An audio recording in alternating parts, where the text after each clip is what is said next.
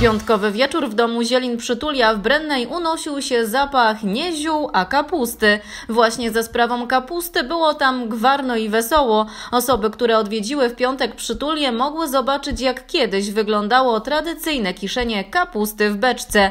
W wydarzeniu tym wzięli udział mieszkańcy, goście, a także wójt wraz z małżonką. Kiszenie kapusty w beczce dzisiaj w Brennej i pan wójt oczywiście też się wziął do roboty. No oderwaliście mnie od tego momentu i radości kiszenia kapusty, ale cieszę się, że przy muzyce góralskiej, przy wspaniałej atmosferze możemy pokazać e, jak wyglądało dawniej kiszenie kapusty poprzez krążanie na e, specjalnych nożach ręcznych i potem cała ceremonia wkładania tej kapusty do beczki.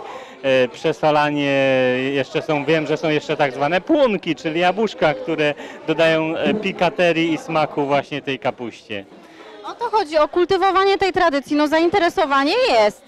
Zainteresowanie duże to nas cieszy bardzo, bo chcemy kultywować tradycję, ale też chcemy ją przekazywać przede wszystkim młodemu pokoleniu e, i chcemy, żeby nie zaginęła ta tradycja e, tutaj w Przytuli, w szczególnym miejscu, gdzie właśnie to miejsce wyznaczone jest po to, żeby ta tradycja przetrwała na pokolenia. Niektóre panie wskoczyły do beczki w kaloszach, ale były też i takie, które po dokładnym umyciu nóg deptały kapustę na bosaka. Dla wszystkich, nieważne w jakim wieku, była to duża frajda. Jak się deptało tą kapustę? Kapitalnie.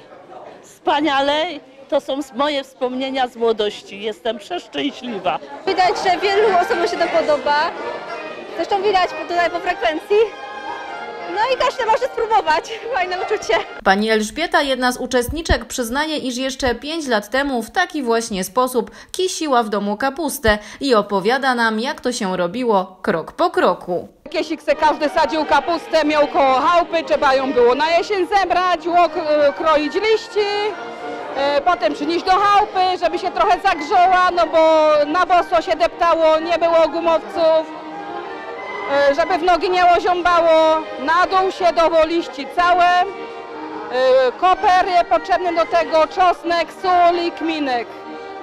No i przekłodo się warstwami. Do krążenia i deptania kapusty przygrywała kapela Maliniorze. Zgodnie z tradycją kapusta musiała trafić do beczki przed Dniem Wszystkich Świętych, bo inaczej mogła po prostu się nie ukisić. Ta robiona w przytuli i już trafiła do beczki, teraz może więc spokojnie leżakować. Kapusta już udeptano, pięknie pachnie. Teraz musi poleżeć w tej beczce dwa tygodnie i za dwa tygodnie można zrobić kapuśniak. A kapuśniak z takiej kapusty ponoć smakuje najlepiej. Dla portalu Śląska Cieszyńskiego XPL Marta Szymik-Telesz.